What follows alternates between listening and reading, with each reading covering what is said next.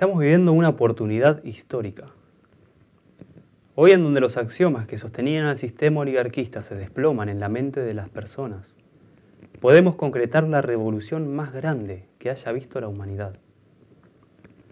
La política que va a terminar con este sistema oligarquista es la que acaba de lanzar el economista Lyndon LaRouche y es el establecimiento de un sistema de crédito con tipos de cambio fijos entre China, Estados Unidos y Rusia, para luego sumar a todas las naciones dispuestas a colaborar entre sí. Pero antes aclaremos algo. En la historia de la civilización, siempre existieron dos corrientes opuestas. No es la izquierda y la derecha, esto está dentro de las fronteras del Imperio Británico. En realidad, la pelea siempre fue entre el principio oligárquico, que busca mantener a las poblaciones ignorantes, en la pobreza y en números reducidos, y el humanismo, en donde todo lo que el hombre es capaz de imaginar es también capaz de realizar, como dijo el pionero espacial Tabanera. Ahora esta pelea es más clara y definida que nunca. No hay neutralidad. Hoy el mundo está polarizado entre aquellos que defienden la soberanía y el progreso y los que pretenden rescatar a la oligarquía en bancarrota. Tiene que ver con que logremos establecer lo que desde 1776 venimos intentando, que es un mundo de estados nacionales realmente soberanos. Son apenas un poco más de 200 años, y lo que esta oportunidad mundial nos da es completar esa maduración cultural, donde logremos autogobernarnos en torno a principios verdaderos. Veamos, por ejemplo, lo que quiso hacer esta semana el secretario del Tesoro de Obama, Timothy Geithner. Como ya sabes, o si no lo sabes, puedes ver el último informe escrito por la líder política alemana Helga Sepp-Rouge. La zona del euro y la región transatlántica en general está totalmente en bancarrota. Ahora, Geithner, el secretario del Tesoro, fue a Polonia a una reunión de ministros de Economía de la zona del euro para proponer extenderle una línea de crédito ilimitado al Fondo Europeo de Estabilidad Financiera, es decir, imprimir los dólares que necesiten y comprarles la basura financiera para que los europeos puedan rescatar a los bancos especulativos. ¿En qué cabeza entra esto? No sé, sin embargo, hasta los propios europeos se dieron cuenta de la locura hiperinflacionaria que esto representa, y este acuerdo falló. Este tipo de políticas para la destrucción de los Estados Unidos y la imposición de una era oscura sobre la humanidad no son ideas del loquito de Obama, ni de Geithner, ni de Trichet, ni de los otros locos que pretenden rescatar a Europa. Estos títeres están moviéndose en respuesta a la corona británica como dije antes, hoy las intenciones están más claras que nunca. Y no hace falta revolver nada para entender qué quieren lograr los británicos. Hace unos meses, el príncipe Felipe, alias Virus Mortal, presentó en la Sociedad Real de las Artes a un tal Sir David Aston que dijo que el gran problema del mundo es la sobrepoblación y que hay que reducirla lo más rápido posible. De casi 7 mil millones que somos, a mil millones o menos. Estas declaraciones es lo que después se traduce en hay que combatir el calentamiento global, hay que descarbonizar la economía y fomentar las energías renovables. O para decirlo sin eufemismos, que vuelva a la cámara de gas. Esta es la forma más clara del sistema oligárquico, el ecologismo.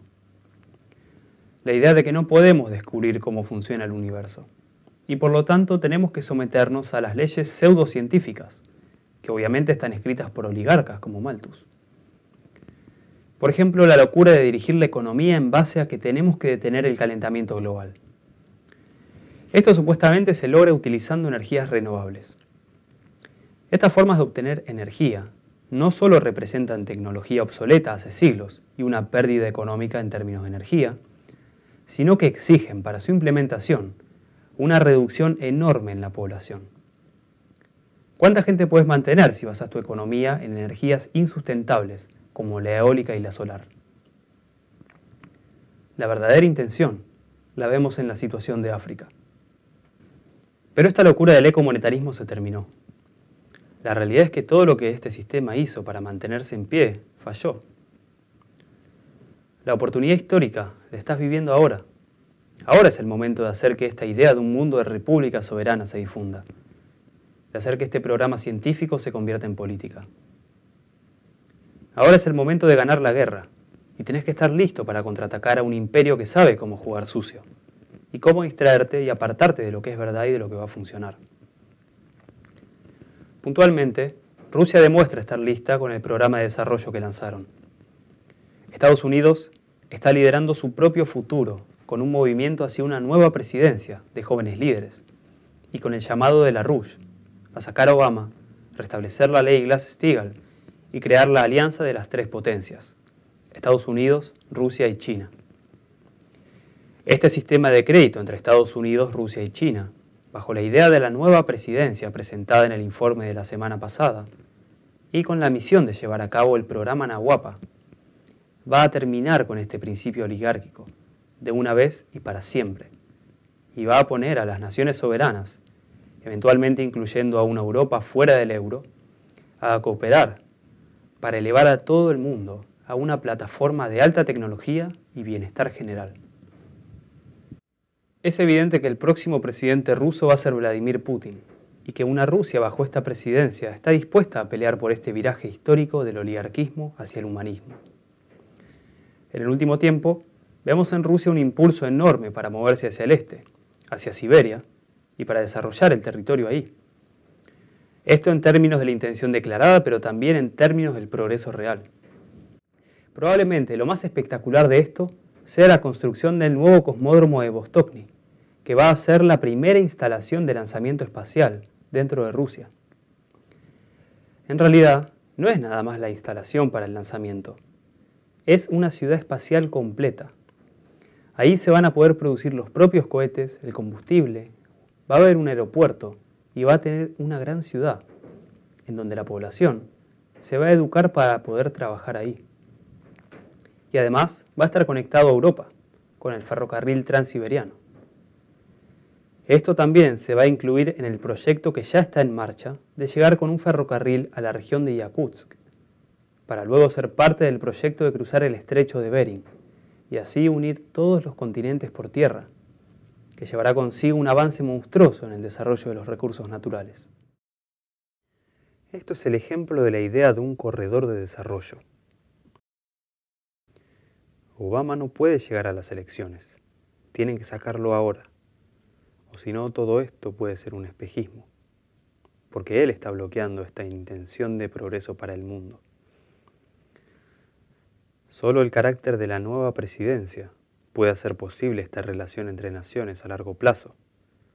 Pero si Estados Unidos no recupera su intención original, nada de esto va a ser posible. Es lo que representa una orientación transpacífica, una orientación hacia la alta densidad de flujo energético y el alto trabajo intelectual. La orientación transatlántica no tiene futuro y estos países deben abandonar ya las políticas monetarias made in London y sumarse a esta revolución mundial.